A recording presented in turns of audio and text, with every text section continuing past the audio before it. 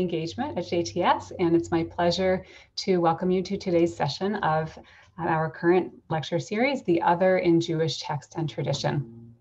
Um, special welcome to any first-time attendees, and uh, you can view the recordings of past sessions using the link in the email that you received from JTS earlier today. Um, we are so pleased to have Dr. Yonatan Brafman teaching us today. His session is called The Self, the Other, and God in 20th Century Jewish Philosophy, Cohen, Buber, and Levinas. Uh, so something quite different from, uh, from previous sessions, really delving into this question um, through a philosophical lens. So thank you so much in advance, Professor Brafman, for, for teaching us and, um, and sharing this new angle with us today.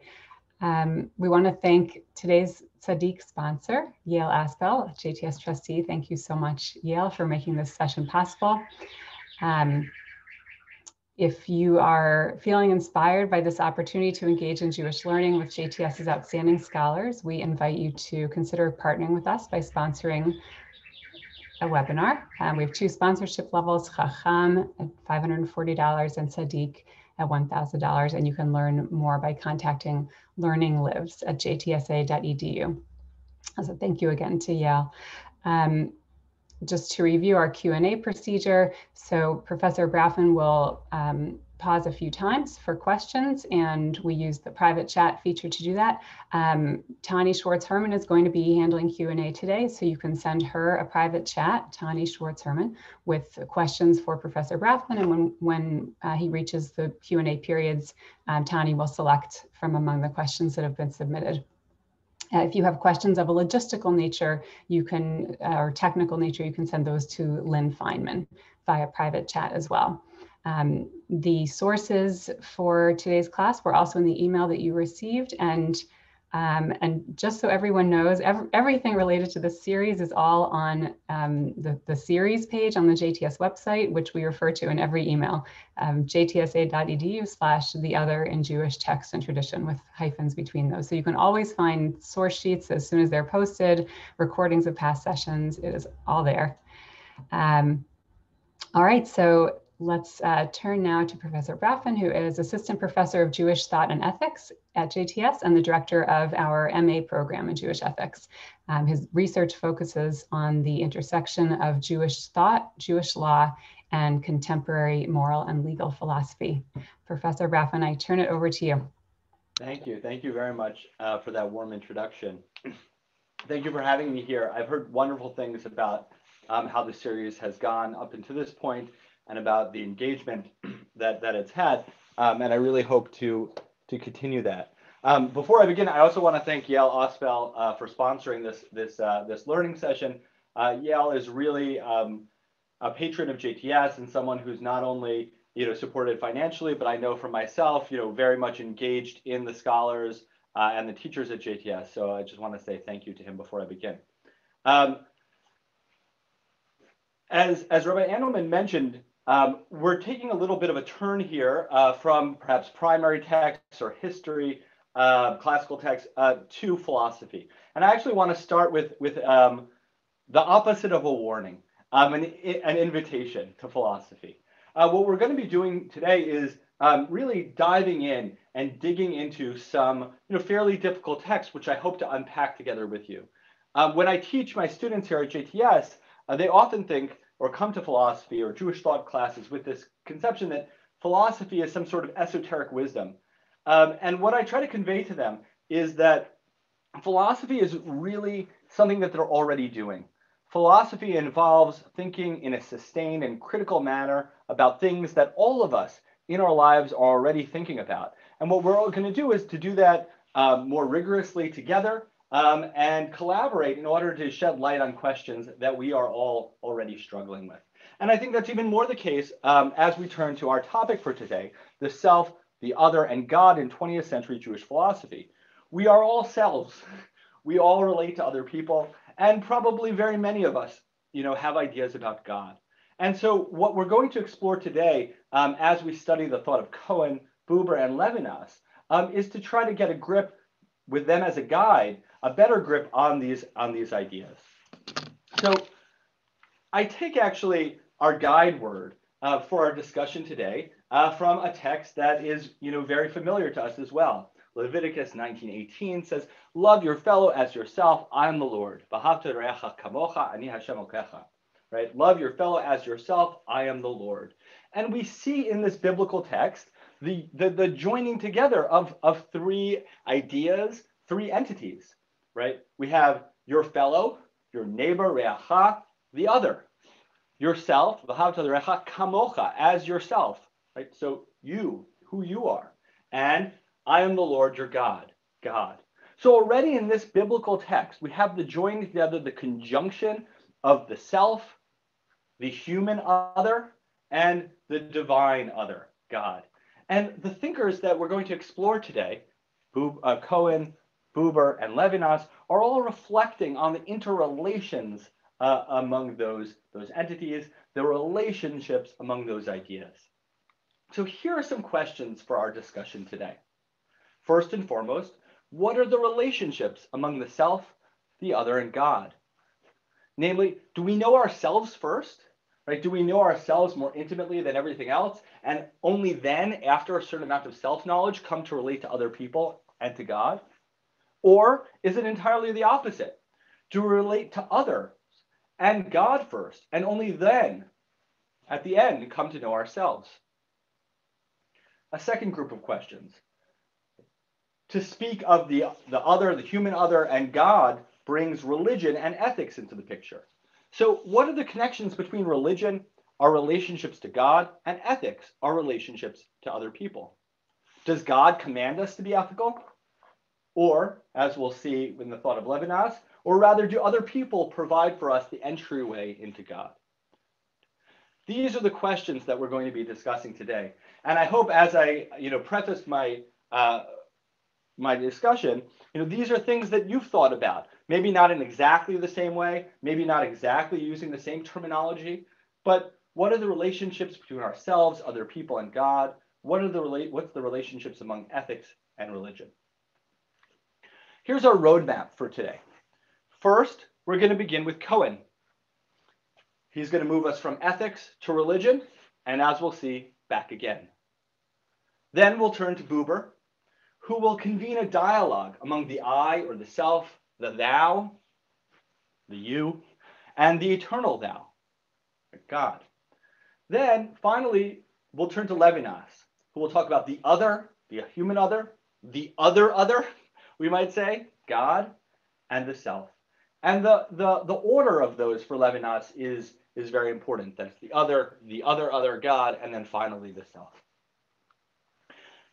So for each of these figures, we're going to move through them sequentially, but I want to convene a dialogue amongst them. We'll see how each of them were responding to each other's thought and devising their own views uh, in the process. I'm also going to give you a bit of background, philosophical background, um, in order to understand what are the moves, what are the interventions, why is you know this figure making this claim.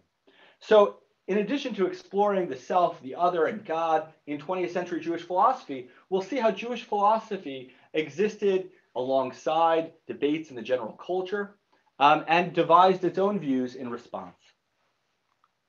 So to begin with Cohen, who teaches us from ethics to religion and back again. Sorry.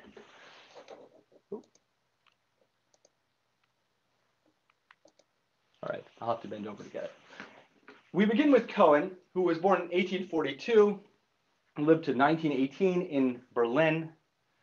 Cohen, we in Jewish studies know him as a scholar um, who wrote Religion of Reason out of the sources of Judaism. But Cohen is also known as one of the founders of Neo Kantian philosophy, a return to the philosophy of Immanuel Kant um, in the late 19th and early 20th century. In fact, Cohen began his career by writing commentaries on each of Kant's critiques. Kant wrote three critiques. Cohen wrote commentaries on it, and then devised his own system of philosophy. Importantly, this system of philosophy was meant to stand on its own. It's not uniquely Jewish. It was supposed to be a general account of what it is to think, what it is to act morally, what it is to enjoy something artistically. He also, though, wrote a book called Religion of Reason out of the sources of Judaism, as I mentioned. And what this was doing was to think with the sources of Judaism, in order to develop a concept of religion, a religion of reason, that he believed to be moral and universally acceptable. So, in order to understand Cohen, Cohen's thought, we need to situate him um, in the history of Western philosophy.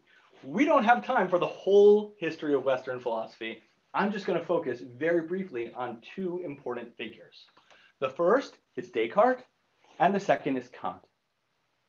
Descartes famously says, I think, therefore I am.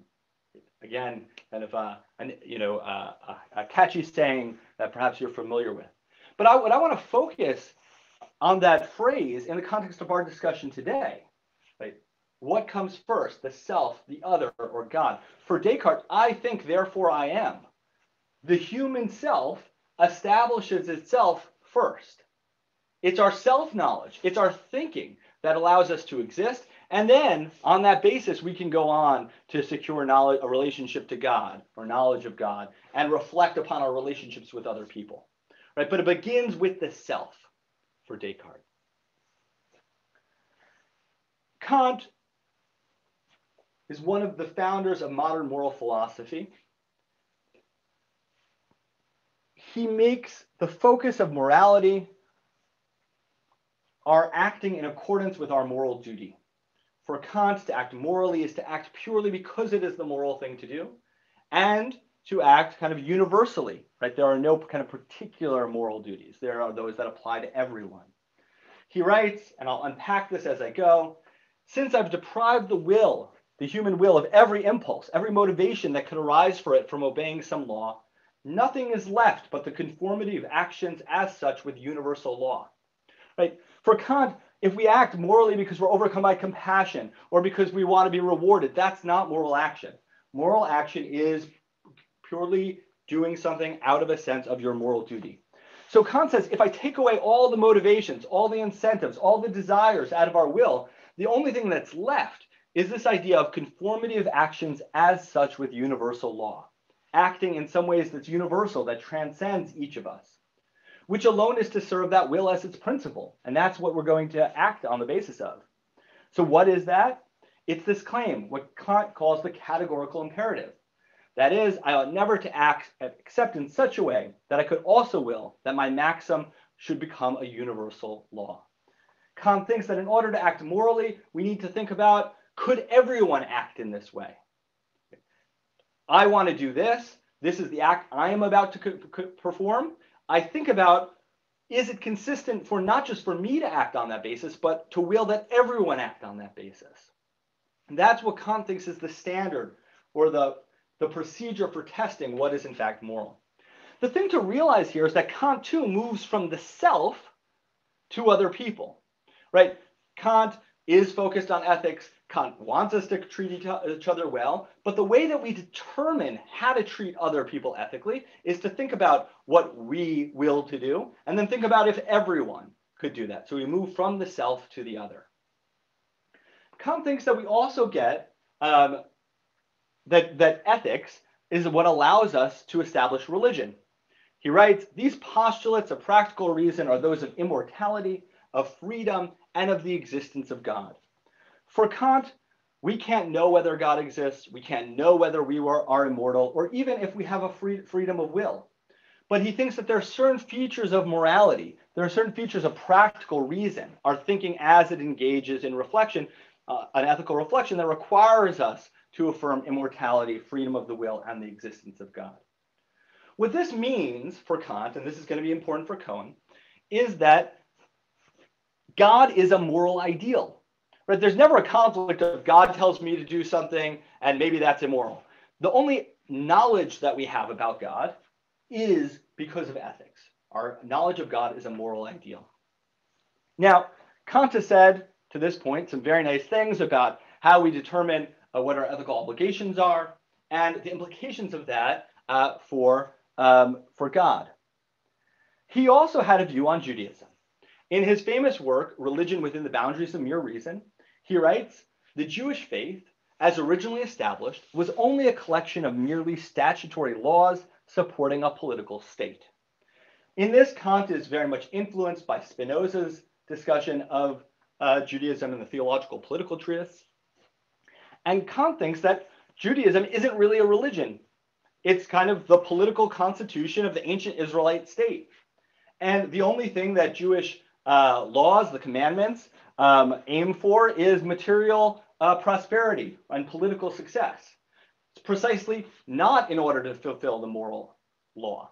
And so for Kant, the Jewish faith is not really a religion, one that's oriented towards the service of this moral ideal of God, but rather is merely a political um, faith. So let's get back to Cohen. As I've said, Cohen is one of the most premier scholars of Kant's thought. He is also not just a historical scholar of Kant's thought, he thinks that Kantianism gets a lot of things right. And so he develops his own system of philosophy in relationship to it. He is also, though, a committed Jew. In fact, one of the first professors in Germany to hold a, a professorship, which is a which is a which was a uh, governmental position at the time, without having converted. Cohen aims to prove that Kant is wrong. That there, you can develop a religion of reason, a religion of moral reason out of the sources of Judaism. He takes for his focus, again, a very familiar claim in the Jewish tradition. Shema Yisrael, Hashem Elokeinu, Hashem Echad. Hear, O Israel, the Lord our God is one. God is one. But Cohen translates this in a very unique way. The uniqueness of God. He writes, Hear, O Israel, the eternal our God, the eternal is unique. From the unique God, the view of Judaism is directed to one mankind, and in the same way, to each individual man in his own uniqueness. I'm going to repeat that. Hear, O Israel, the eternal our God, the eternal is unique. He's quoting in his you know, idiosyncratic translation, the Shema. And then he writes, from the unique God, from this idea of God's achdut, which he translates as unique, the view of Judaism is directed to one mankind, and in, in the same way to each individual man in his own uniqueness. So there's a few things going on here. First, Kant, uh, Cohen, like Kant, thinks that God is a moral ideal. He's not interested in kind of an entity that speaks to us. He's interested in an idea that guides our thinking and our acting. He also thinks that there is what he calls a correlation, a logical relationship among the self, our ideas about ourselves, about God, and on our ideas about other people. Specifically, he thinks that the idea of God's uniqueness, which for him doesn't mean that there's just one God, it means that God transcends everything in this world, gives rise to two very important notions. The first is humanity. If there's one God that transcends each tribe and each nation, it means that there's this thing called humanity, right, which stands that God is sovereign over. The idea of God and humanity is the root of ethics. It's the root of universality, which Cohen thinks is institutionalized in the structure of the state, where each of us is a citizen. Each of us has the same political and legal responsibilities as every other one. So, on the one hand, the idea of God's uniqueness makes God transcendent, makes there a humanity one common humanity, right, over and against God, which expresses our ethical universal obligations to one another and receives institutional form in the state. On the other hand, God's uniqueness means that God can relate to us individually. Right? He says, and in the same way to each individual man in his uniqueness. Right? God is something that we can each have a relationship to. For Cohen, this is the idea of religion the idea that we are particular individuals, that we are all unique in our own way, and we all bring that to our private relationships with God. For Cohen, this receives institutional form in the congregation, right? Where individuals in their idiosyncrasies with their own histories join together and relate to one another. What I want you to see is that for Cohen, there's kind of two sequences of relationships, right? There's God and humanity, where each of us are equal and have the same responsibilities. And then there's God and our individuality, where we meet in our particularity, our idiosyncrasies, and we recognize one another for them. I'm going to develop these ideas further um, as we proceed with Cohen's thought. So, discussing this ethical relationship between God, the human being, and the other, he writes The unique God, therefore, also unifies the concept of man, and every breach in this unity of man is a violation of morality. The relationship between man and man, between the self and the other, form the lower, or rather the inner correlation of God and man. Again, God, who is transcendent of all tribes and nations, constitutes us as a humanity, and so makes each of us relate to one another ethically, universally. Sounds good so far. But Cohen thinks that there are limits to ethics. Ethics has what it encompasses and what it leaves out. He writes, in ethics, the I of man becomes the I of humanity. Besides the I, and distinct from the it, there arises the he, right? another human being, he or she. Is the he only another example of the I, which is therefore already established by the I? Right? When we think about other people as a he or a she, right, we think of them as kind of a copy of us. We're all a he or a she, right? You call anyone he or she. I could be called he or she by someone else. Language alone protects us from this mistake. Language sets up the thou or the you, right? When we point at someone and speak to them directly. Is the thou also another example of the I? Or is a separate discovery of the thou necessary, even if I had already become or of my own I? Perhaps the opposite is the case, that only the thou, the discovery of the thou, is able to bring about the discovery of the I. What Cohen is pushing at here is that there's a way in which in ethics, as majestic and as obligatory as it is, all individuality is wiped out. Each of us is the same as everyone else. We all have the same ethical obligations and rights. I am exchangeable for someone else. What Cohen is saying is that that leaves out two other things the you, right? When you focus on someone directly and what makes them different from all other people. And another understanding of the I, the I, how I am unique, how I am, am different from other people. To get at this, we need to transcend ethics and transition to religion. Cohen thinks this happens in a very interesting way he thinks that what allows us to transition from the universality of ethics to the particularity of religion is through the experience of suffering. He writes, it's precisely through the observation of the other man's suffering that the other is changed from a he or a she to the thou. Suffering, the passion, is for the sake of compassion. In the realm of ethics, we have ethical obligations, we have ethical commitments and rights, and each of us has the same ones. It's when we experience another person's suffering, suffering from physical illness, from economic degradation, that we are exposed to them in their particularity. It is in that very basic experience of suffering that we realize that this person is different than other people, even though everyone might suffer in their own specific way. This is what transitions us from the he or the she to the thou.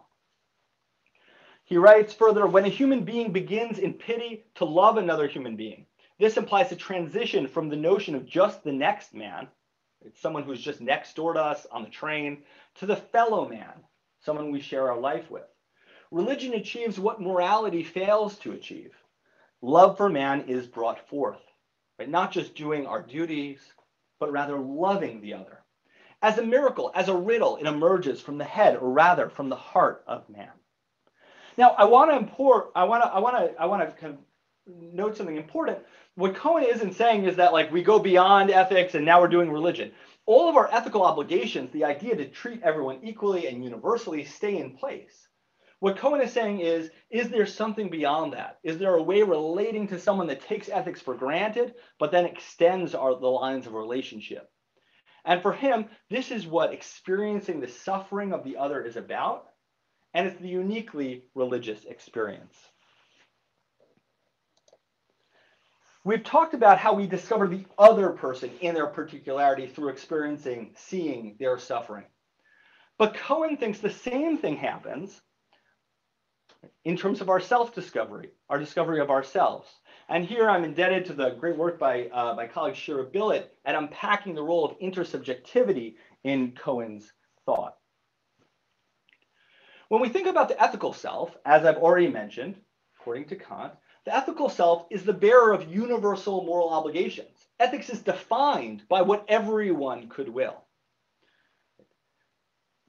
We are not dealing with the in individual, the particular idiosyncrasies of the person. Tolstoy says, happy families are all alike. Every unhappy family is unhappy in its own way. Here's a way into Cohen's thought about the transition from ethics to religion. I would say that Cohen says ethical selves are all alike. Right? Everyone has the same ethical obligations, but every unethical self is unethical in its own way in the realm of ethics, we all have the same moral obligations and duties. It's the way in which we fail. It's the way in which we don't succeed to fulfill our obligations that makes us particular and individual. It's what requires us as sinning individuals to engage in repentance or tshuva, which according to Cohen makes us real individuals. He writes, if now, however, through suffering and compassion the thou in man is discovered, even one's own suffering need not be accepted with plain indifference. To have compassion with one's own suffering does not have to be simply inert and fruitless sentimentality. Corporeality, our bodies, where we, the locus of our suffering, belongs to the soul of the individual, and the soul is neglected when the affliction of the body is neglected. Humanity requires consideration for one's own suffering. With the suffering of the eye, other injuries, besides those of the imperfection of the senses, also come to light moral frailty, failing in our obligations now needs renewed examination. If then religion has its deepest basis in man's self-knowledge, then Ezekiel stands immediately besides Socrates. What Cohen is saying is that the experience of our own suffering, right, whether it's bodily or economic or professional or personal, right, this makes us aware of our individuality, of our particularity. Now, Cohen says something interesting that might be a bit disturbing. He says that when we suffer in this way, we should use it as an occasion to think about our not just bodily frailty, but our moral frailty. We should use it as an occasion to examine whether we have succeeded in fulfilling our ethical obligations, our obligations to other people. Now, I want to add quickly that what, what Cohen's not saying. Cohen is not saying that we suffer because we are bad people, because we failed ethically. That's not what he's saying. He doesn't believe that you know there's reward and punishment in that way. What he is saying is that the occasion of suffering, the occasion of suffering provides an event through which we can reflect on our moral successes and our moral failings. And when we do that, we can discover um, the ways in which we have succeeded, the ways in which we're fail, we've failed, and the ways in which we can do better. He links this idea, he sees this idea expressed in the prophet Ezekiel, which he says, if Socrates inaugurates philosophy, then Ezekiel inaugurates religion. Ezekiel 18, 27 through 31, this is Cohen's translation. When the wicked man turneth away from his wickedness that he committed and does that which is lawful and right, he shall save his soul alive. Cast away from all your transgressions where ye have transgressed, and make yourself a new heart and a new spirit. Cohen comments on this passage. The new man is born, In this way, the individual becomes the I.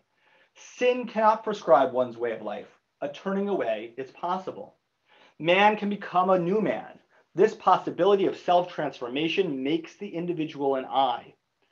Through his own sin, man becomes an individual, right? Comes, becomes particular. We all fail in our own ways. Through the possibility of a turning away from sin, however, the sinful individual becomes the free I. And only with this newborn man can the correlation, the relationship between God and man become true. God does not want the sinner and his death, but he has pleasure. God has pleasure in man's turning away from his ways, and therefore in his life, in his new life. Now the individual comes to full fruition in the I. The experience of our own suffering, in Cohen's view, leads to this examination of our moral frailty. That allows us to realize how we are each particularly sinful, how we each individually fails morally. But this provides an occasion for us to push forward, to engage in repentance, to become new, reborn human beings. So I want, I want to return to that quote with which we started examining Cohen's view. Hear, O Israel, the eternal, our God, the eternal, is unique. From the unique God, the view of Judaism is directed to one mankind, and in the same way each individual man in his own uniqueness. Cohen sees a correlation, a relationship among the self, the other, and God. In fact, he sees two such correlations. There's the transcendent God, which, as I've said, stands above all tribes and nations and constitutes us as humanity. Within humanity, each of us, self and other, are moral equals. We have the same rights and responsibilities directed to one mankind. But God is also directed the same way to each individual in his own uniqueness. There's the compassionate God the God that recognizes us in our sinfulness and stands there as we repent and become a new person, right? where we can recognize our individuality. Right? In this relationship, we can recognize the other as a particular thou, right? as a particular human being who suffers. And we can recognize and constitute ourselves as a particular sinning and repenting I. In a small work, Cohen writes, the self results from the eternal relationship between the I and the thou. We're not always already an I and then go into relationships with, other people and with God, right? We result from those relationships. That is, it's the infinite ideal of this ever continuing relationship. The ideal always remains ideal. The task always remains a task, always remains infinite. Yet the ideal is defined by its demands for zealous emulation Hence, it opens up the possibility of coming closer. We are continuously developing ourselves, but only as mediated through our relationships to God on the one hand and to other human beings on the other. And this goes on on two levels, which I've already remarked upon on the ethical of universality, as well as on the religious level of particularity. I want to pause now to take a few clarifying questions. I know I've thrown a lot out there, enmeshed in kind of Cohen's particular neo-Kantian jargon. Uh, so before we proceed to Buber, who's engaging with Cohen's thought, I want to pause for some clarifying questions. Thank you, Professor Brafman. Um, just going to, a few questions that came in. I'm just going to take a quick look. Um, But one question from from Joe: um, How do any or or all of these philosophers that you mentioned differ from um, philosophers such as um, Joseph Soloveitchik? Right. So I'll just start with Joseph Soloveitchik and maybe actually stay there. Um, Soloveitchik wrote his uh, dissertation on Hermann Cohen, uh, not on Hermann Cohen's um, uh, Jewish philosophy, but on Cohen's um, general philosophy. It was actually a critique of it which is important to know. Um, Soloveitchik was very influenced by Cohen's writings about atonement and repentance, especially this idea that we become a new type of self uh, through this. And this is an idea that Soloveitchik uh, draws from Cohen and then embeds more deeply than Cohen does in, in Jewish texts. Okay, thank you. Um,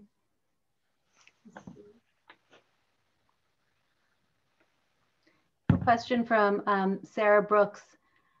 Um, you mentioned, uh, you know, one of the slides, ethical selves are all are all alike, um, and this assumes that we all agree on what is the moral ch choice, but this isn't always true. So, can you comment on that too? Yeah. So I'm just yeah. So that's a great question, right? So I would make the distinction between us disagreeing about what is moral and the the presupposition of that disagreement that there is one right answer about it, right? We might have lots of disagreements about what should be done, what should not be done. But the reason we're able to have that disagreement is that we assume that there is a right answer and a wrong answer. I just, you know, one person thinks that they're right and the other person thinks that they're right, right? So the fact that we have disagreements doesn't mean that we're not striving towards universality and that ethics isn't isn't aiming for that.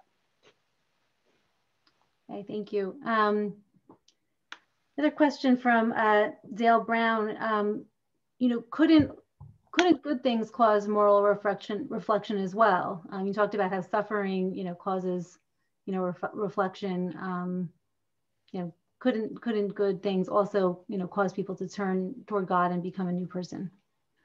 Yeah, so I, I, I think that that's that's that's a really good that's a really good point. Um, I think that Cohen is uh, on the one hand, very skeptical of good things. Um, you know, I think he thinks that it often makes us complacent. Uh, it makes us kind of less probing of our own behavior. Um, and I think that he's focused on the suffering because of how that draws us back to embodiment, right? There's no way that the, the way that we're, we're each the most particular in like is in having particular bodies. And like what he thinks is that suffering makes us acutely aware of our bodies in the way in which we might take for granted when, when we're happier. I think I'll take one more question before we move uh, to Buber, if that's okay. Okay. Um, okay. I had one, one other question from, from David. Um, Cohen disputed political Zionism. Um, how does this connect to his uh, philosophy? Yes, so excellent. So Cohen, Cohen, um, Cohen and Buber. Uh, that's actually a good segue. Um, Cohen and Buber had a famous debate about political Zionism, which is not our focus today. It's going to be about the relationship between the self, other, and God. Um, Cohen actually, given that it was written in the early 20th century, um, has some scary things to say about the suffering of the Jewish people uh, at the end of religion of reason out of the sources of Judaism. He thinks that um, the suffering of the Jewish people in exile, the way in which they don't have the ability to defend themselves, is kind of an index of the moral development of the world and kind of a testimony uh, to the uniqueness, ethical and religious uniqueness of God. Um, and it's on that basis that he opposes attempts to kind of ameliorate the Jewish experience, uh, to give Jews power uh, through things uh, like political Zionism. So there is actually a, a deep connection between his views about suffering and religion and his rejection of political Zionism, uh, which is perhaps for another day. Uh, but I do want to, as you point out, put, uh, focus on some of the differences between Cohen and Buber. Right? We turn uh, to Buber, continuing with this relationship among the self, the I, the thou, as we saw Cohen describing it, and what Buber calls the eternal thou. So I actually want to begin with his critique of Cohen, which we can think about as the ethicization of Judaism right? We saw how Cohen distinguishes between ethics and religion, right? But what Buber points out is they're really the same thing, right? In that they're about how to treat the other per person well. The difference being between ethics and religion for Cohen is that you're treating them well in their particularity. Buber writes, the meaning of the act of decision in Judaism is falsified if it's viewed as merely an ethical act. It's a religious act or rather, it is the religious act, for it is God's realization through man. There's a lot going on in this uh, sentence, and we're going to unpack it further.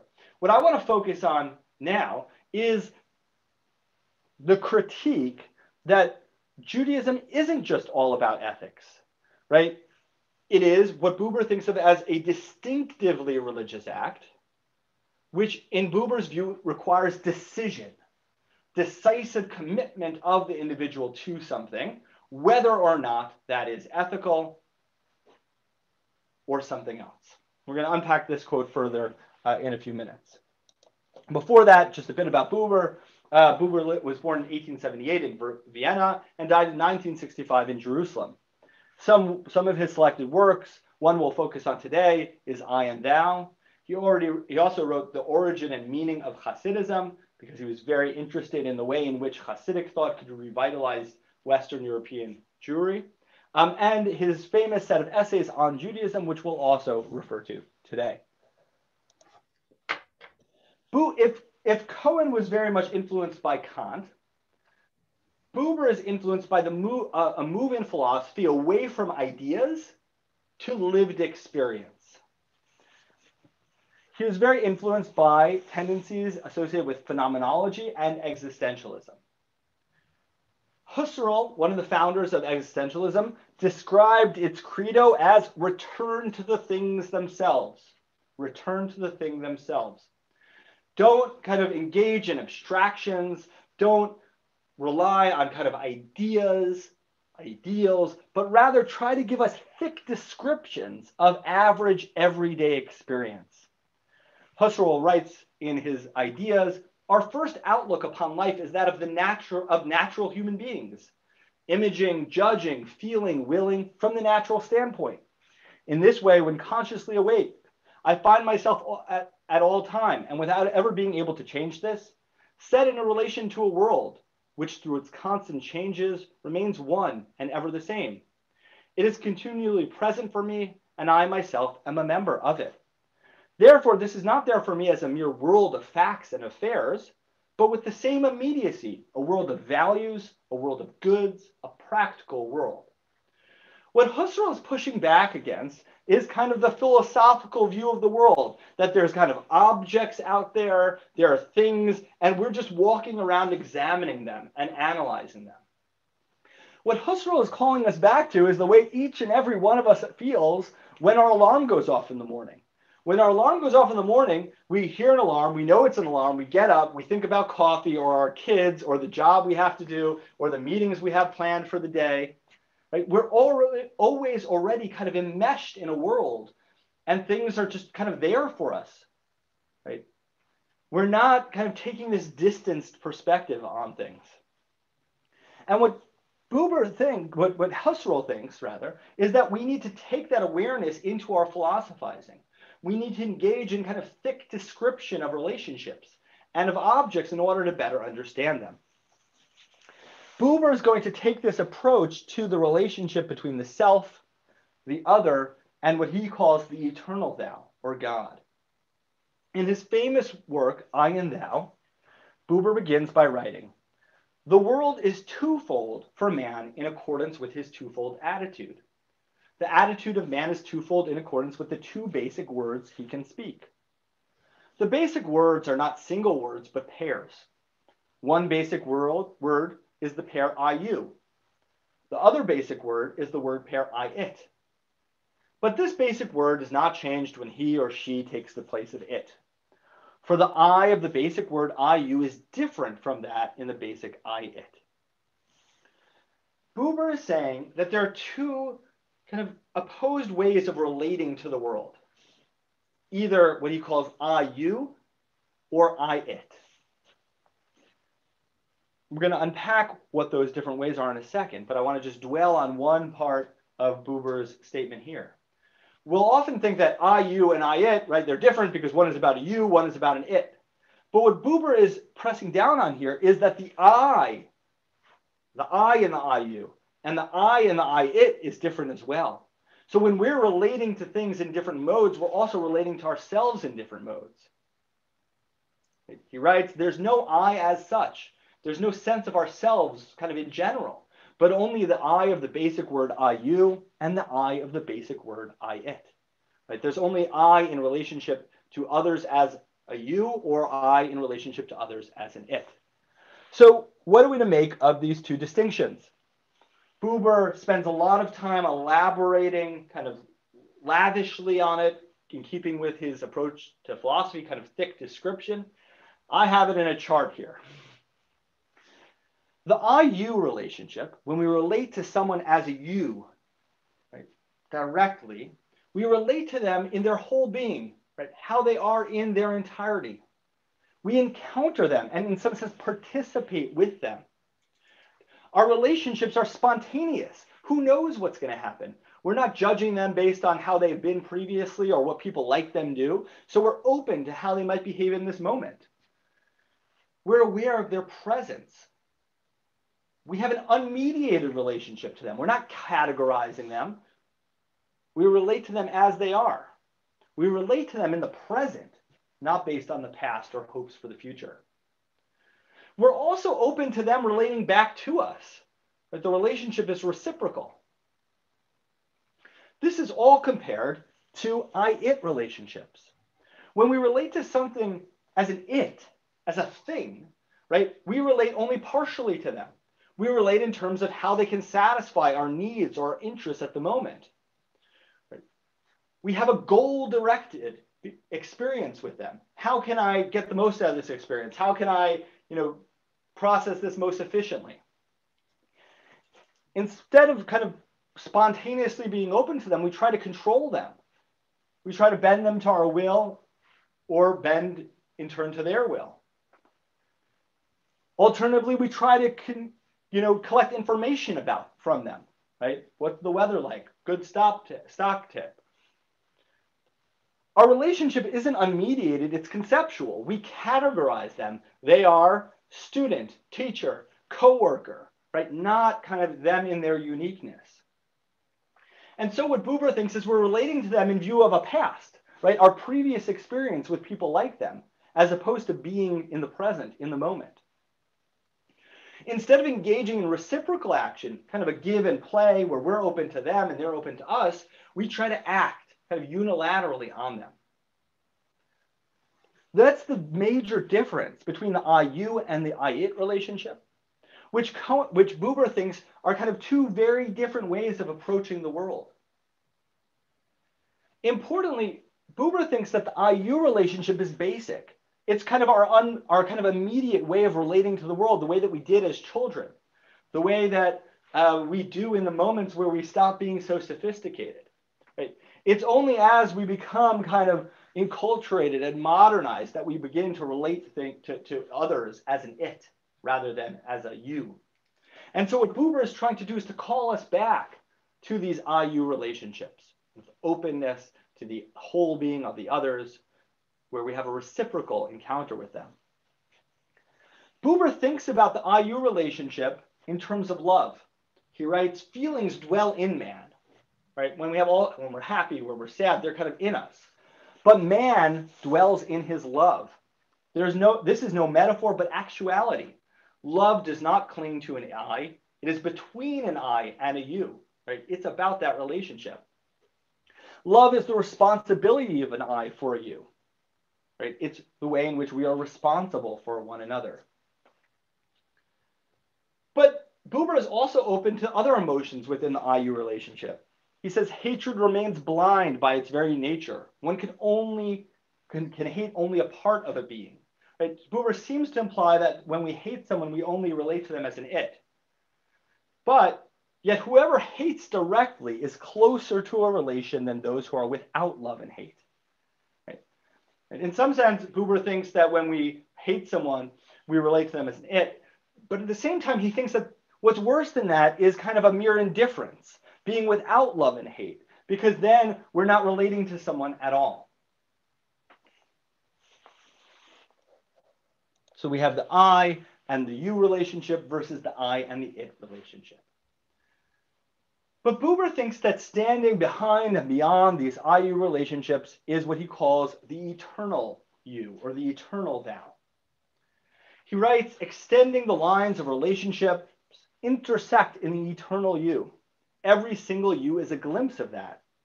Through every single you, the basic word addresses the eternal you. The mediatorship of the you of all beings accounts for the fullness of our relationship to them and for the lack of fulfillment. It attains perfection solely in the immediate relation to the you that, in accordance with its nature, cannot become an it. So, to unpack that, Buber is saying that there are two ways in which we relate to what he calls the eternal you or the eternal thou. to God. One is mediated by our other relationships. Right? When we really encounter someone as a you, them in their uniqueness, Buber thinks that this kind of intends or directs us towards some relationship to God beyond it. But he also thinks there are moments in which we encounter immediately or directly this eternal thou, when we have an immediate or direct relationship with God. Importantly, I want to stress that by a relationship with God, Buber does not mean that there's this entity called God and we can either have a relationship or not have a relationship with God. God for him is a relational category, right? He writes, for whoever pronounces the word God and really means you, addresses no matter what his delusion, the true you of his life that cannot be restricted by any other, and to whom he stands in a relation that includes all others. But whoever abhors the name, rejects the name God, and fancies that he is godless, when he addresses with his whole devoted being the you of his life that cannot be restricted by any other, he addresses God. For Buber, God is not some substantial entity that we can either have a relationship or not have a relationship with. God is relational. Whatever we ultimately commit ourselves to, whatever we feel called to commit ourselves to and to enact in the world, Buber thinks that this is the eternal thou. This is what we can call God, even if someone describes themselves as an atheist. So God is relational for Buber as opposed to substantial.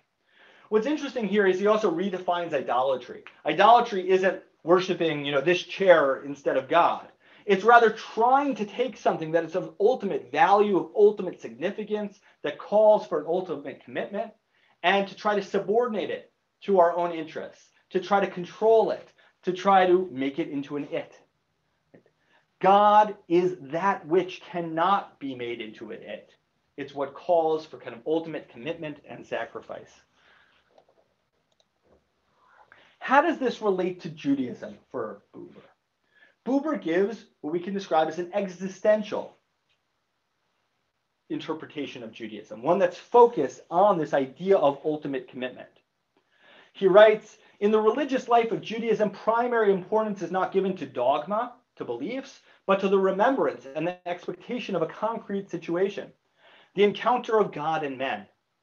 Whatever is enunciated in abstract in the third person about the divine, right? Whenever we say God is this or God is that, is only a projection onto the conceptual plane, which, though indispensable, proves itself again and again to be inessential. Israel's experience of the thou, right, of the you, God speaking directly to us in the direct relationship, the purely singular experience is so overwhelmingly strong that any notion of plurality simply cannot arise. Yichud, the unification, the unity of God, involves the continually renewed confirmation of the unity of the divine in the manifold of God's manifestations, understood in a quite practical way. Therefore, the unification is contained in translating the image and actuality in imitatio Dei. For Buber, Judaism is about the relationship between God and the human being. It's about being spoken to and speaking to God as a thou, as a you. In fact, as an eternal thou, something which cause, calls us to make an ultimate and undivided commitment to it. Cohen describes God's you, achdut as God's unity, God's transcendence, God's relationship to us when we sin. For Buber, God's yichud, God's oneness, is about unification. Just as God is one and indivisible, we need to totally commit ourselves to the relationship to God and what God asks of us. And in that, we imitate God. So, back to the quote with which we started our discussion of Buber. He says, The act that Judaism has always considered the essence and foundation of all religiosity, right, the act which Judaism sees as basic to religion, is the act of decision right? Committing oneself of divine freedom and unconditionality on earth. The meaning of the act of decision in Judaism is falsified in his view if it's viewed as merely an ethical act. It is a religious act, or rather, it is the, the religious act, for it is God's realization through man. Buber rejects seeing God as a moral ideal. He rejects the notion that religion, that Judaism is merely about compassion to other people. He does see it as relational, but it's one that issues in a commitment to whatever God demands of us, not just ethics. So let's compare Cohen and Buber. As I've said, for Cohen, he focuses on God's uniqueness, which on the one hand expresses ethical universal humanity, as well as the particularity, the individuality of each of us and of each other person. Buber, in contrast, focus on God's unification, God's kind of oneness. He sees that as related to an existential decision, right? A total commitment to the relationship between God and the human being, right? In which we do what we take God commands to us because we have that direct relationship between God, between ourselves and God as our other. I want to pause now uh, to take some clarifying questions about Buber before we turn to our uh, kind of last member of this trialogue, um, Emmanuel Levinas. Thank you. Um, question from Nina. Um, what would, does Buber's conception of ethics um, as religious behavior imply that atheists cannot be or behave ethically? So Buber, as we said, kind of wants to step back from concerns with ethics, right? He's rather interested in existential decision, right? He thinks that any sort of system of ethics um, denies kind of the immediacy of the I thou relationship. He thinks that when we engage with someone as a thou, right, we will most likely love them, but he doesn't want to reduce it to that. He wants it to be open to whatever you know comes comes about. In terms of religion and, and atheism, recall that for Buber, pe- many people who describe themselves as atheists wouldn't be atheists on, in his terms. For him, the religious act it doesn't have to do with you know worshiping this god or that god or performing certain behaviors, but rather it means committing oneself wholeheartedly to something. Thank you. Um, question from from Lori Spear. Um, I guess can you give a little more context to when or like in, in what situations the IU relationship exists? Um, and I guess that you know to add to that, uh, we had another question kind of asking about um, if we're talking about groups of people, such as, you know, a group of, if you're teaching to a group of students, how can you respond to all of them as used rather than as it? Great. Those are two great questions that allows us to kind of fill, fill out his picture. So I always use this example mainly because I teach, you know, predominantly young adults, that the best example of the IU relationship is like sitting at a campfire talking uh, to someone that you're romantically interested in. you know, where you are just kind of totally open to who they are in the individual in, in their individuality and you know want to share yourself with them um, and are not kind of categorizing them right again kind of this spontaneous interested um, experience you know what buber what kind of the novelty of buber is kind of on the basis of this perhaps uh, familiar experience, he thinks we can have it in all sorts of other contexts. He actually thinks we can have it with nature. We can have it with, with, with works of art when we're just kind of open to it, right? Not thinking about its price or how popular it is, but kind of open to what's expressed in it. So from these familiar experiences where we relate to someone as who they are, Buber wants us to become more aware of other places we can have that experience. Now, to get to your point about kind of how do you relate to lots of people in that way. Um, I think Buber is actually, despite the fact that he sounds very romantic, he's a little bit realistic, which in ways that we haven't been able to explore in this lecture. Um, he thinks that the I-it relationship is, you know, um, not ba- it's derivative, but it's necessary, right? If we want to function in the world, if we want to have modern politics, modern economies, right, we do need to kind of not stand around have IU relationships all the time. What Buber wants us to do is to kind of focus on these IU relationships and then, you know, engage in I-it relationships when necessary. So, you know, if you're talking, giving this example, yeah, I think that when one's giving a lecture to 358 people, um, it's very difficult uh, to have IU relationships with each and every one of them. You know, but the idea is that enough of the character of the IU relationship kind of orients um, an I-IT relationship and provides an occasion for those IU relationships to develop, like email or phone or office hours or Zoom. Um, I think I'll take one more question before we move uh, to Levinas. Um, another question. Um, question about, is it possible that Buber's idea of wholehearted commitment, you know, is there is it possible that there is a way for that to turn into idol worship? Yeah, so I'm gonna answer that on Buber's terms, and then I'll then I'll say a critical comment about that. So, by definition, for Buber, it cannot turn into idol worship because remember, for him, right, God isn't defined as like this entity who created the world, but rather whatever we commit ourselves to totally. So, he would say whatever people commit themselves to totally is their true God right? So by definition, for him, kind of total commitment can't lead to idol worship. The concern that I would have, uh, and that perhaps Levinas has, is people can commit themselves to all sorts of things, some of them terrible, um, and you know, isn't that something that we should we should we should be worried about? Um, and with that, I actually I want I want to turn to our our next thinker, Emmanuel Levinas, who's going to talk about the other, the other, other, and the self.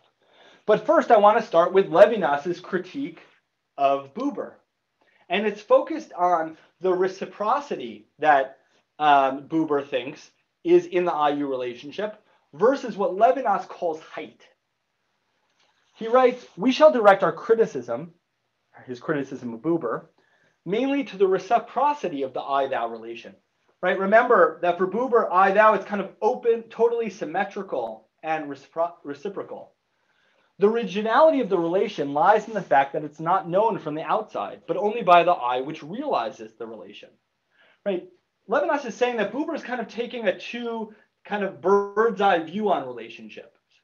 Instead, Levinas says that we should focus on what the I in the I-You relationship sees.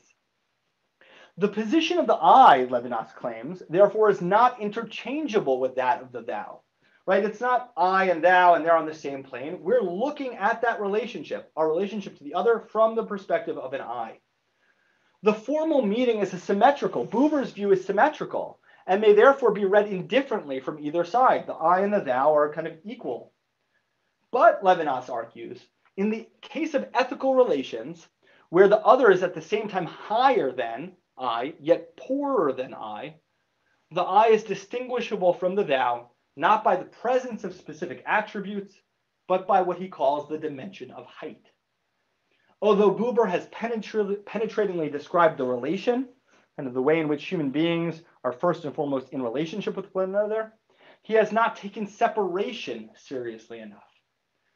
What Levinas is saying is that Buber, despite his best efforts to kind of describe in detail relationships, Buber, in fact, takes a bird's eye view where the I and the thou are equal to one another.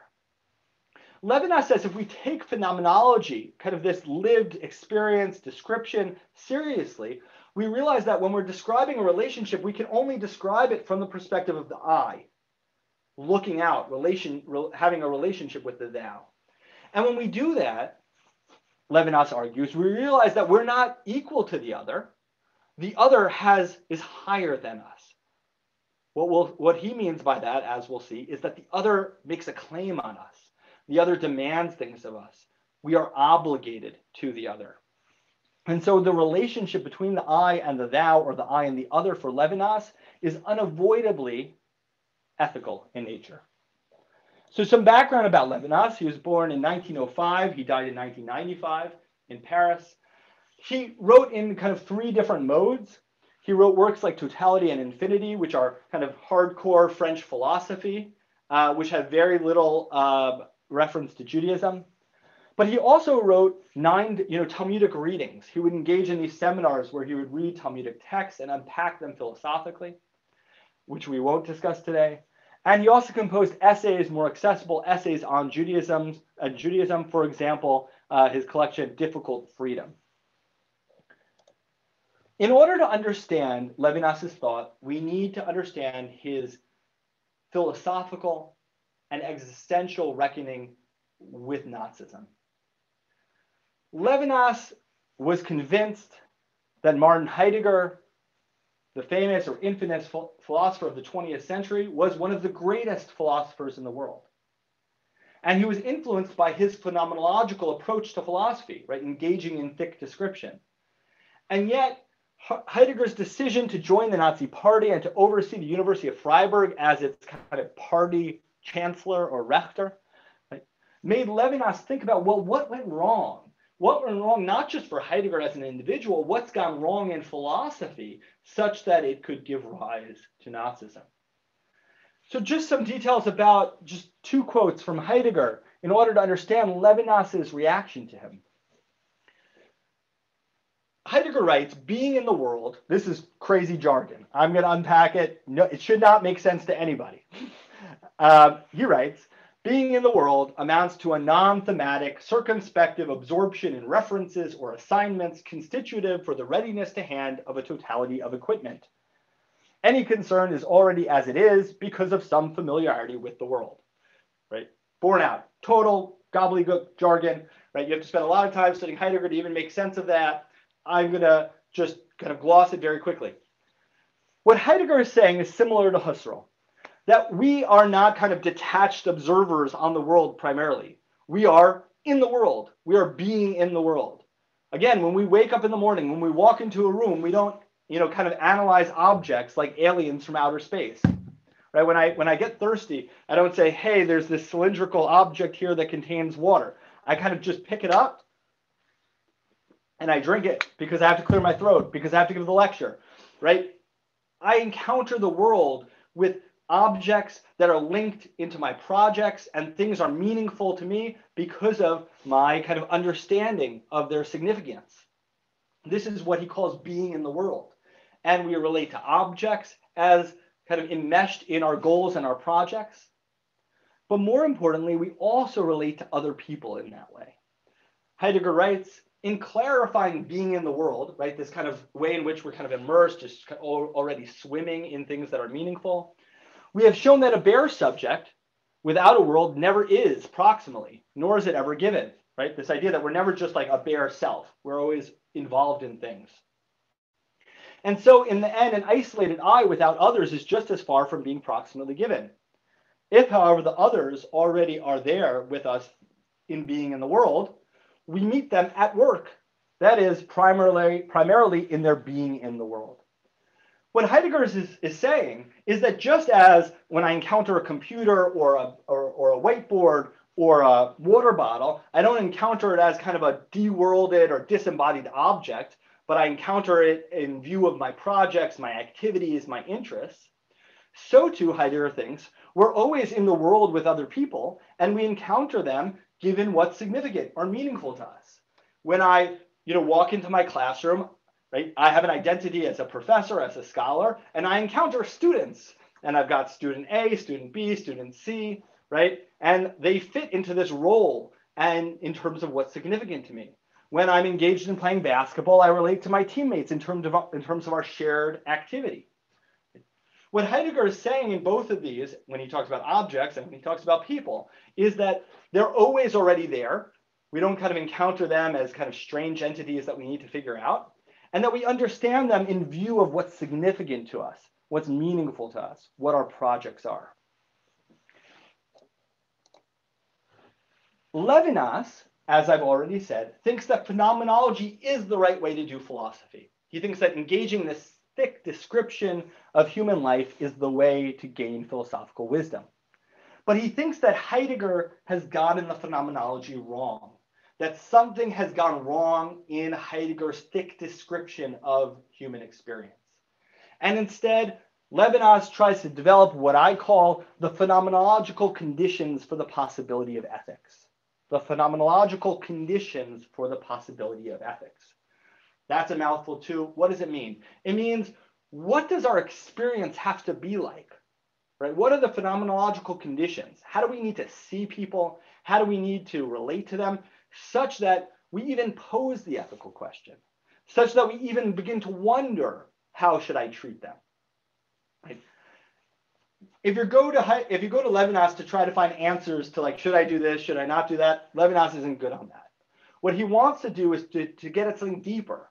What does our experience have to be like such that we even try to think about what we should do?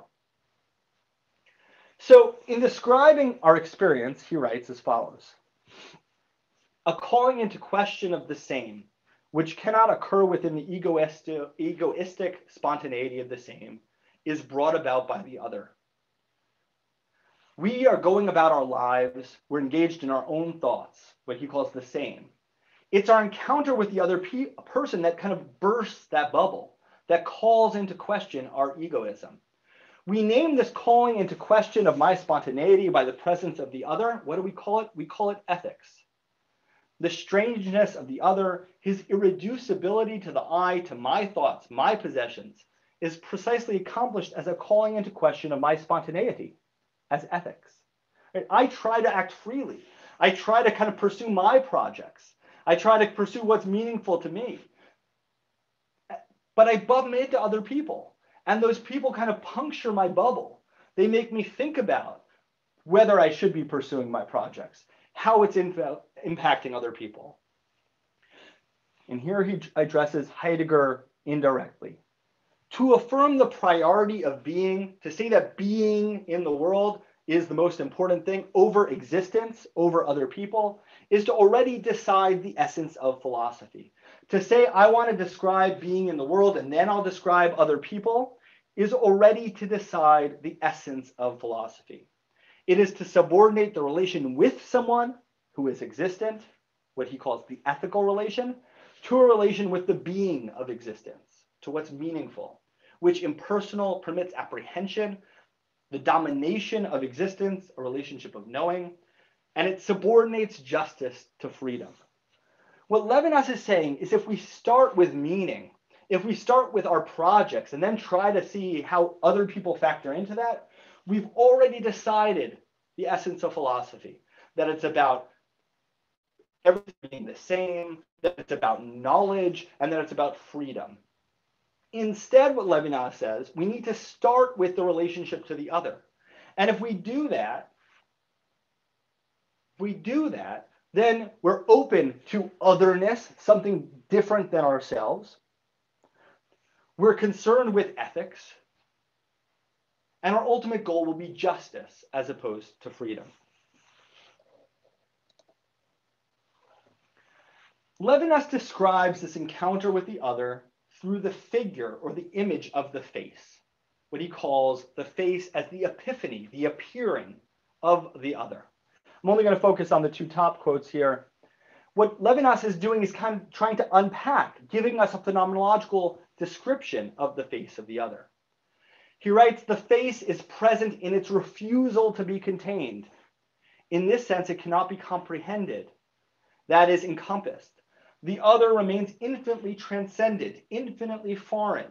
His face, in which his epiphany is produced and which appeals to me, breaks with the world that is common to us. What Levinas is describing is the way in which kind of the view of someone else, feeling someone else watch us, kind of shatters us and makes us self-conscious.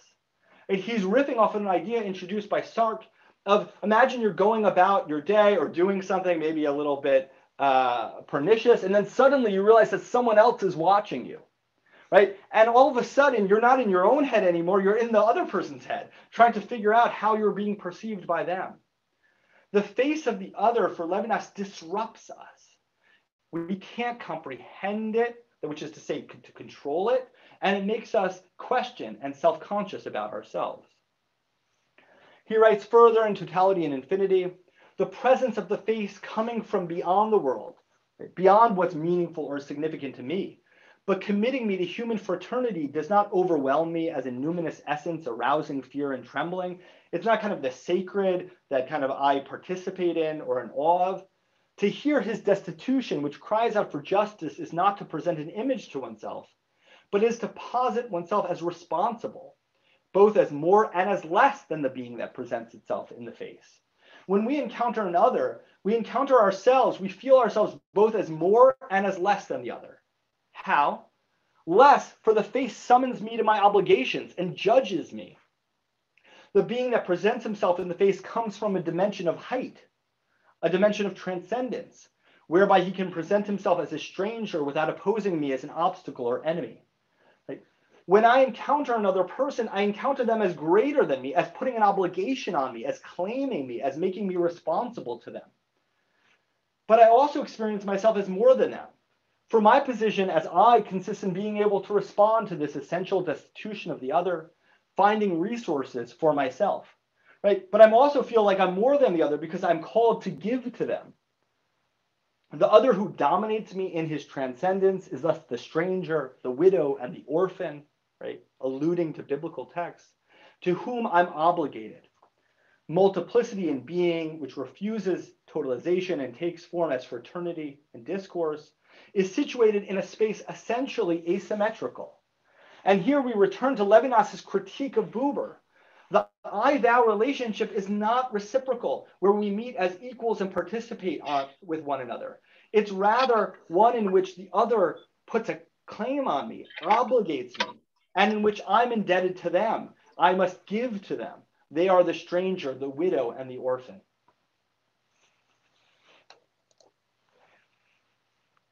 Levinas thinks that these ideas are expressed in the Jewish tradition, principally through our reflections on God. He writes, To me, religion means transcendence.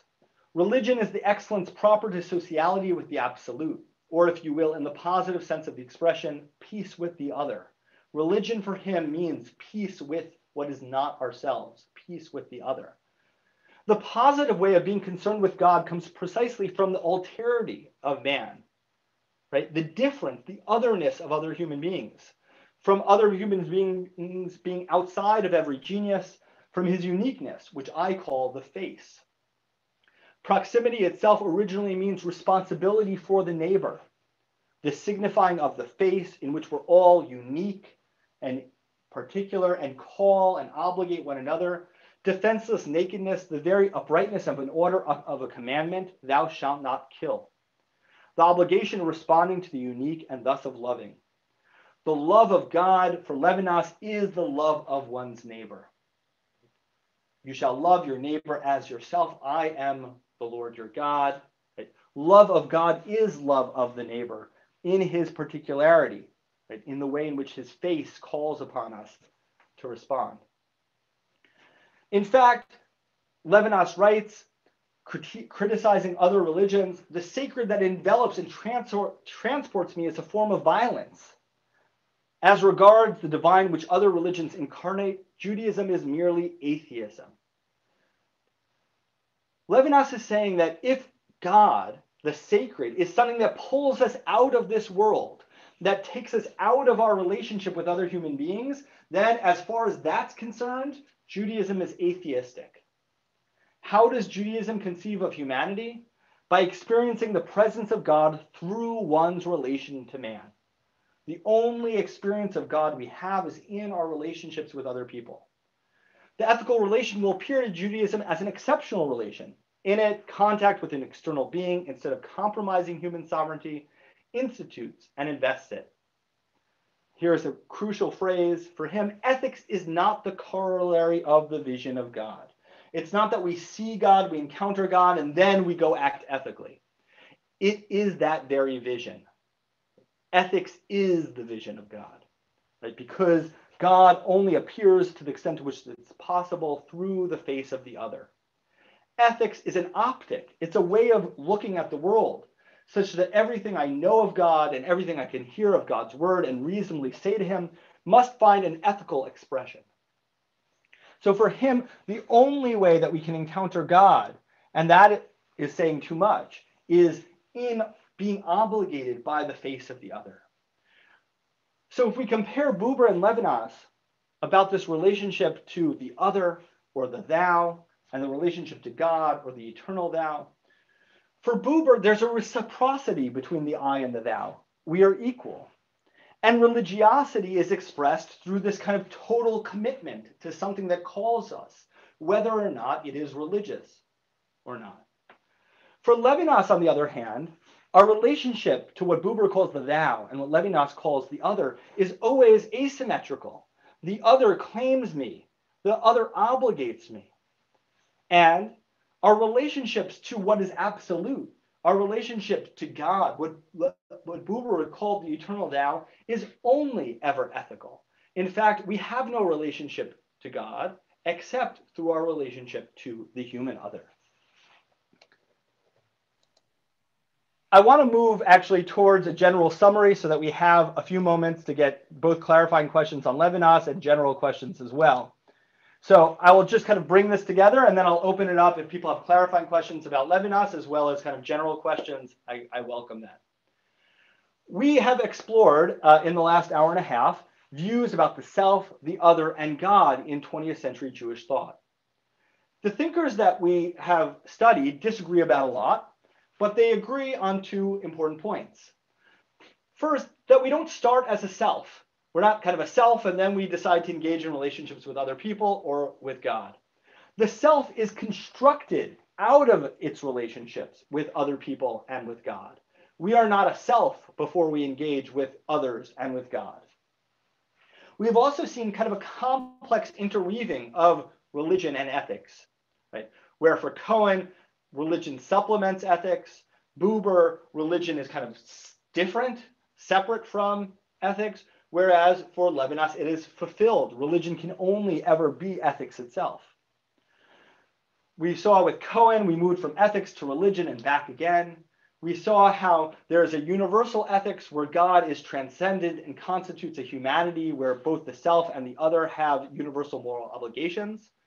We've also seen particular religion, where the suffering of the other reveals the other in their particularity, and our own suffering exposes us as a sinning and repenting individual before God. We then turn to Buber, where we saw a dialogue we developed among the I, the thou, and the eternal thou. We unpacked his distinction between the I thou relationship versus the I it relationship. And we also explored what he calls the eternal thou, which is religious in the sense of calling for ultimate, ultimate commitment, but may not be ethical. Lastly, just now, we explored the thought of Levinas, who focuses first and foremost with our relationship to the human other, then what we might call the other other, or God, and only then the self. The other that we encounter has a claim, right? Comes from a dimension of height. In fact, for Levinas, the self isn't a substantial thing. It only exists as a locus of obligation to other people. Finally, we explored his idea of God and the way in which God is the other other that is only present in the face of human beings and the ethical obligations that they place upon us. In each of these figures, we've seen reflections about the experience of human relationships out of the sources of Judaism. Each of them claim that Judaism makes a very particular claim, but in fact, something that is universal of human experience. And I hope that, that this has enriched our understanding of otherness um, in our religious tradition, as well as in ethics in general. I'll take some questions now. Thank you, Professor Brafman. Um, a question from um, David Cooper. He notes that um, Hannah Arendt um, also had to deal with Heidegger's acquiescence to Nazism. Um, how were she and Levinas different in regard to their responses to Heidegger? Great, that's a great question. So, um, so in a similar, in, in one sense, similar in that what she wants to make primary is um, relationships to other. She has an idea called plurality, um, which, but she takes it. If, if Levinas focuses on the other, kind of a dyadic relationship where there's one other that makes a claim on us, and he sees that as the entry point to ethics. Arendt wants to say, well, we're always in the world with a plurality of other people. And this raises the questions about politics. And for Arendt, Arendt's response to Heidegger is to take more seriously the plurality of human beings and the way in which that makes us responsible together for our common political life. Thank you. Um, question from Davida Charney. Um, she notes that um, Levinas, you know, at least in the material that you brought here today, um, that Levinas uh, writes about the Talmud while Buber uh, wrote about the, the, the Bible. Um, she questions whether Cohen worked at all with sacred texts and also um, whether kind of the different texts that are noted, whether they're, they're connected um, to their kind of different uh, ideas that they bring. Great, that, that's, that's, that's an excellent question. Um, so you're so yes, so Levinas is trying to rehabilitate rabbinic texts, um, and part of that is part of it, it, it is this corrective project that he's trying to uh, um, intervene in modern philosophy because he thinks the Hebrew Bible right has been kind of explored and taken up uh, through the medium of Christianity, but he thinks that something has been lost, and that's rabbinic literature, um, which expresses the ideas about obligation that we've been, that we've been describing here. Um, you know, Buber, yes, was engaged in the translation, the German translation with Rosenzweig of the Hebrew Bible. But, you know, I should also mention, as, you know, as I said, he was very interested in Hasidic tales, um, which he thought uh, also provided uh, a dimension, uh, a needed dimension into, into philosophy and European culture. You know, Cohen dealt with the Hebrew Bible. He drew kind of more sporadically from rabbinic texts.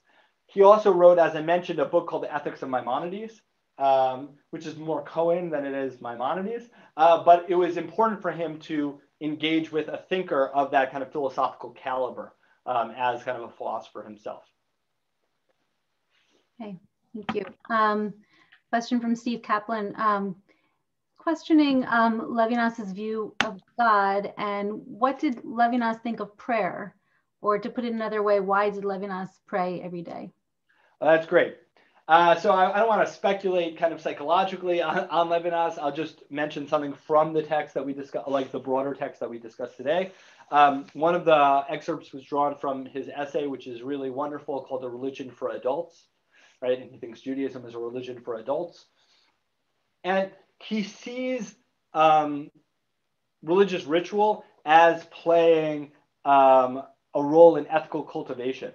Right, he thinks that obeying, um, you know, praying or not eating certain foods or restricting one's activity at certain times makes us responsive uh, to something beyond ourselves in a way that's ethically um, beneficial. Okay, um, good question. About, just asking for further clarification on the use of the term phenomenology. Yeah. So phenomenology, just you know, very briefly, is this idea that the way to do philosophy is a method of philosophy involving thick description of our everyday experience, right? So instead of kind of writing logic proofs um, or reflecting on the relationships amongst ideas, what you'll do is you'll give a thick description of, in this case, human experiences or our relationships to objects and places and things. Um, and you know, it was inaugurated by Edmund Husserl, as I said, um, and you, we can describe Buber and Levinas as both um, engaging in phenomenology. Thank you. Um, I think we're just about out of time. So Professor Brafman, I, I just really uh, wanted to thank you again for teaching us today, for sharing such an incredible wealth of information and uh, you know, really giving us a new way to think of the other in, in the context of this series. Uh, so I just want to point out, if you look at the last slide, um, I know that, you know, I'm sure there are questions that I wasn't able to get to. Uh, if people want have, if you didn't get to ask your question, please feel free to contact me at yobrafman at jtsa.edu, um, and I will try to respond to you. Yes, thank you. And um, and I also uh, just wanted to make sure everyone's aware of our next session on March 15th, uh, we'll have the opportunity to learn with uh, Dr. David Fishman. Uh, the topic will be when Jews made fellow Jews other, Hasidism and its opponents.